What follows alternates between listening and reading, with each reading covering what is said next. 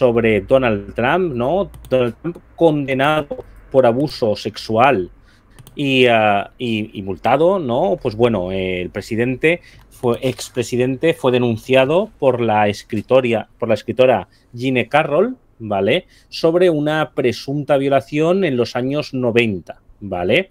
Además, eh, bueno, la noticia que contaba Gine Carroll era, bueno, un suceso traumático eh, que la verdad es que la marcó el resto de su vida. De hecho, ella dice, si no me equivoco, que no volvió a tener sexo nunca más. Madre mía. Eh, y, y, que desarrolló, pues, bueno, ciertas fobias, ¿no? Y además había otro testimonio que corroboraba un poco lo mismo, que fue la de una, si no me equivoco, azafata de los años 70, todavía más atrás, que anunció que también sufrió una agresión sexual de la nada eh, de Donald Trump, ¿no? Todo esto, pues bueno, corrobora un poco esa frase que dijo el presidente, que no voy a repetir, pero que básicamente decía que si eras famoso, pues a una mujer podías hacerle lo que quisieras, ¿no? Pues bueno, como vemos, estas frases que dicen tienen mucho que ver con su pensamiento. Pues una movida. O sea, ya sabéis este tío quién es, ¿no? El, presidente de Estados Unidos. No necesita mucha, mucha presentación. Pues bueno, tiene como 200.000 juicios pendientes. Eh, yo creo que cada uno le da más votos que el anterior. Eh, sí, es que oh, el mejor país del mundo, Estados Unidos. Pues bueno, este señor que tiene cara de. Cara de, la misma cara que tu vecino del cuarto, el pervertido, que no saca la basura en dos semanas. Resulta. Llevaba de 2019 con un juicio pendiente por haber violado a una periodista eh, en 1996. ¿Vale?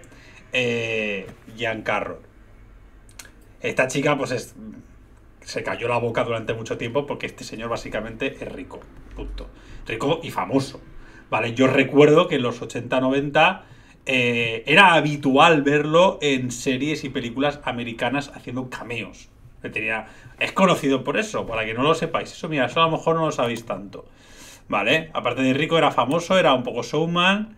Eh, a modo de curiosidad, salió en un episodio del Príncipe de Bel y salió en la película Solo en Casa. Solo en Casa. Solo en Casa 2, además. 2. ¿Vale? Eh, etcétera. ¿De acuerdo? No es fácil levantarse contra un señor así, y menos cuando eres una chica y tan joven. Y además que era no solamente famoso, sino que increíblemente multimillonario. Sí, sí. era una persona muy rica, de cuna. Tal cual. Eh, la cuestión es que esta chica permaneció en silencio, pues como otras tantas abusadas a lo largo de la historia por miedo, vergüenza, etcétera, etcétera, etcétera. Pues en el año 2019, cuando sale el movimiento MeToo, acordaos, empiezan algunas artistas, mujeres famosas, ya con cierto dinero, cierto poder, cierta posición, a denunciar su pasado, eh, un pasado en el cual fueron vejadas, humilladas, presionadas, agredidas sexualmente, etcétera, por hombres poderosos, productores de cine, directores, ricos, etcétera. Y bueno, poquito a poco fueron saliendo más. Es lo que se conoció como el Me Too, ¿no? En castellano, yo también. Como diciendo, pues a mí también me pasó, a mí también me pasó. Luego resulta que a casi todas les había pasado algo, lo cual fue un puñetero escándalo. No sé muy bien por qué, porque todo, eh, que decir, es una cosa que era Vox Populi, ¿vale? Es decir, se hacía broma con ello Incluso hasta que empiezan a denunciar en serio y ya no, como que no mola tanto. ¿Vale? En plena oleada del feminismo, evidentemente. Total, en ese contexto, ¿no? Os cuento un poco el lore.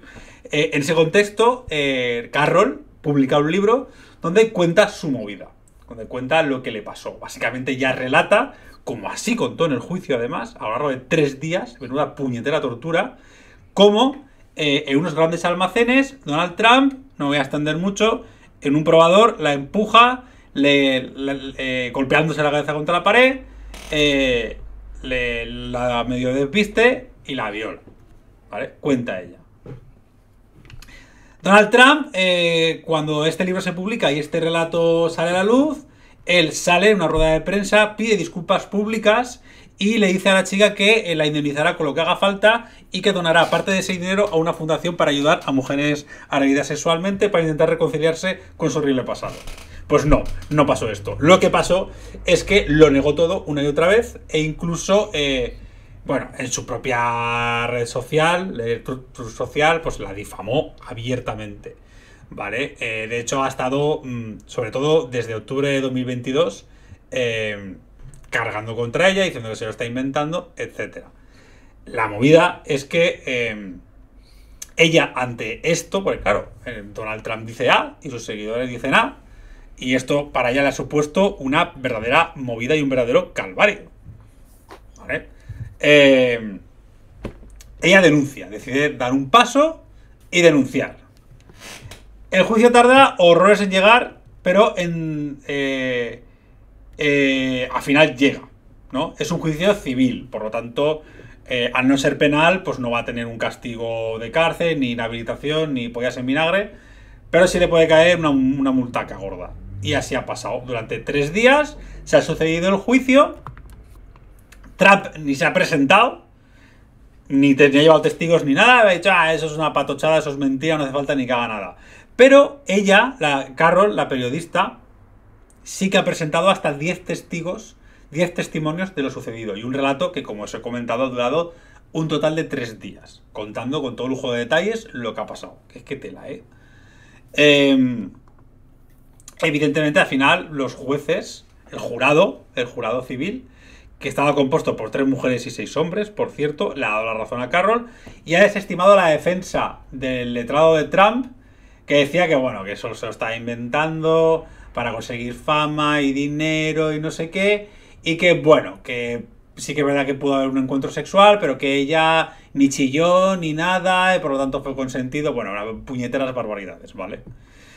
Eh, total, a Trump le toca pagar 2 millones de dólares por, agres eh, perdón, por abuso sexual, es decir, el jurado ha rechazado condenar a Trump o sentenciar que lo, que lo sucedido fue violación, lo han dejado en abuso sexual, le tocará pagar, pagarle 2 millones de dólares, y además 3 millones de dólares, que manda cojones, por difamación, ¿vale? Por todo el ataque eh, público que Trump hizo contra ella, diciendo que estaba mintiendo, etc. Claro, una vez ha demostrado que, no estaba mintiendo, pues es, es que estás difamando, ¿vale?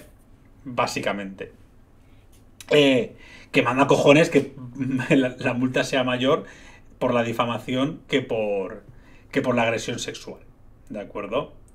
Eh, claro, la reacción de este señor, evidentemente, continúa siendo la de cargar contra esta señora, decir que, que, es una conspiración, que el juicio ha sido una caza de brujas, etcétera, etcétera, etcétera. A Donald Trump, eh, como he comentado anteriormente, tiene como un montón de escándalos, un montón de juicios pendientes. Hace nada comentamos, aquí mismo lo ha descubierto, eh, en la sección de actualidad ultra, cómo eh, salió a la luz. Bueno, Trump está como. Está pendiente de juicio de hasta 34 cargos criminales porque utilizó dinero, presuntamente. Habría utilizado dinero de la campaña electoral de las elecciones de 2016 para sobornar a la actriz Stormy Daniels para que se callara la boca en una relación eh, sexual o sexoafectiva que mantuvieron hace 10 años eh, y por la cual, bueno, si se revelara, eh, pues bueno, mm, estaría claro que, le ha sido infiel a su mujer, a Melania Trump. Y utilizaba dinero de la campaña para que se callara la boca. Y parece ser que hay otro caso por ahí muy similar, etcétera. Además de esto, el Departamento de Justicia está investigando a Trump por, eh, por ver qué papel tuvo en el asalto al Capitolio del 6 de enero. ¿Vale? Recordemos que grupos como Proud Boys eh, tuvieron un papel activo y que, bueno, han tenido cierto buen rollo con Trump. De hecho, gente del entorno de Donald Trump, antes del asalto al Capitolio, se había reunido con, con, con miembros de los Proud Boys, ¿vale? Ese grupo este neofascista de hombres cabreados, bueno, en fin. ¿Para qué? Un, grupo de payasos. ¿Vale? Hmm. Pese a todo, Trump sigue liderando tanto las encuestas de intención de voto como, eh, la, como las primarias del Partido Republicano. ¿Vale? Porque, claro, él, su estrategia es utilizar todos los escándalos y todos los juicios para victimizarse, para decir, ¿lo veis cómo me quieren destruir? ¿Lo veis cómo hay un deep state, un estado profundo que va por mí sin haber hecho nada? Etcétera, etcétera, etcétera. Entonces, claro, él está utilizando... Es que parece que cuanto más escándalos y más polémica le salpican, mejor le va. Entonces, lo cual es. Eh, en fin, es como, bueno, entonces, ¿qué hacemos? ¿no? Eh, hagamos lo que hagamos, parece que, parece que vas a estar ahí otra vez. Es que es Esta es un poco la noticia. básicamente. Es que, sí, es que es increíble, ¿no? Porque si esto de pasarse a alguien de izquierdas, ¿qué pasaría, no? Mm. Es decir, em, si no es alguien que, yo qué sé, es que hasta personas muy poderosas, pues te las medio cargas o te las cargas del todo. Y en cambio, esta gente, contra más delinque y contra más cosas penales le sale, más crecen. Es que es absurdo, ¿no? Al final, a lo mejor, no sé, habría que hacer ya lo mismo.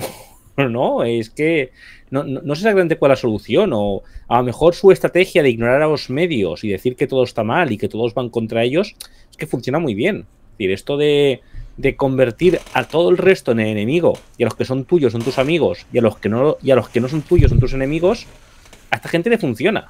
Mm. ¿Sabes? ¿Por qué le funciona a ellos? Pues no lo tengo muy claro. ¿Vale? Pero es una estrategia que funciona. ¿No? Y habría que ver por qué. ¿Sabes? Hombre, tendrá un límite, ¿no? No puedes estar. Es que ha sido condenado por violar tres gatitos y matar a tres ancianas. Ay, bueno, a ver. eh. No, es el Deep State que va a Ay, no, pero tenemos aquí un vídeo que lo demuestra. Ah, eso es un. Es la IA que lo ha creado. Exacto, es que siempre te puedes inventar algo, ¿no? Es. Claro, es que esta gente, o sea, esta gente no cree en la realidad, sino que confía que en la retórica lo, lo soluciona todo. Es decir, esta gente eh, soluciona todo hablando y mintiendo. ¿De qué ha pasado esto? No, lo reexplico. Eso tiene una explicación. ¿Qué es esta chorrada que voy a soltar? Y, y la escuela, ¿vale? Y luego por la mínima alguien de izquierda lo crucifican. Es que, es que es la hostia.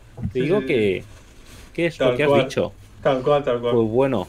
Pero sí, a lo mejor al final se acaban cargando el país, ¿no? Es lo que dicen por aquí, de tanto miedo contra los rusos y los chinos, y al final estos talados se van a colapsar a sí mismos. Sí, sí, sí, sí. Al final yo creo que esto, no sé, a lo mejor es una creencia kármica, pero al final esto tienes que pagar de alguna manera, ¿sabes? Es que esta estrategia es muy loca para que te funcione eternamente. ¿sabes? A lo mejor las secuelas y las heridas que crean el país son demasiado grandes luego para hacer nada, ¿no? O, crean un efecto rebote cuando menos te lo esperas, que esto siempre acaba ocurriendo, ¿no? Que ves que algo funciona, que tal, pero de repente... mm, ¿No será porque el fanatismo da frutos mucho más peligrosos para el resto que el raciocinio? Pues, pues podría ser, podría ser. Es una reflexión interesante. Y eh, hay que pensar que el conservadurismo, pese a que intenta revestirse en parte de racionalidad, sobre todo por el ala liberal, que sí que ciertamente es una ideología mucho más racionalista, em, eh, acaba. El conservadurismo no lo es. No se basa sobre todo en la racionalidad. ¿No? En los poderes elevados, la religión, la tradición, la familia, ¿no? Los valores que ellos consideran generalmente son, suelen ser tradicionalistas y tal. Y claro, esto se da mucho más a lo que tú dices, ¿no? Un pensamiento irracional, un pensamiento mesiánico, eh, que tiene que ver con lo religioso, y cuando juntas esto con fe, ¿no? Y cualquier ataque exterior como un ataque a tu fe, pues al final acabas produciendo estos movimientos, ¿no? Es un punto de vista, claro, el tema es cómo, cómo enfrentarlo, ¿no? Porque desde la izquierda se pensaba mucho tiempo que la eh, que con una racionalidad perfecta, pues al final acabas ganando, ¿no? Y ahora mismo ya sabemos que eso no es así, ¿no? De hecho, por ejemplo, yo creo que el político que más supo ver que esto no era así en su momento fue Pablo Iglesias. Es decir, Ujú. que empezó a meter mucha emocionalidad en sus discursos y, y fun- le funcionó un tiempo, ¿no? Hasta que los medios lo machacaron y lo destruyeron, pues funcionó, ¿no? Y, era un tema que la izquierda pues no sabemos, no sabe exactamente qué hacer, ¿no? Porque, por tanto, el mm, marxismo, socialismo eh, y tal son ideologías que suelen ser racionalistas. Y es verdad que esto funciona muy bien, que si al final si no transmites emoción, eh, no, no acaba de cuajar la cosa. Entonces, pues sí, algún día conseguiremos, sabremos cómo, cómo ganar este discurso mesiánico, pero por ahora mismo está, está jodida la cosa, la conclusión técnica. Mm.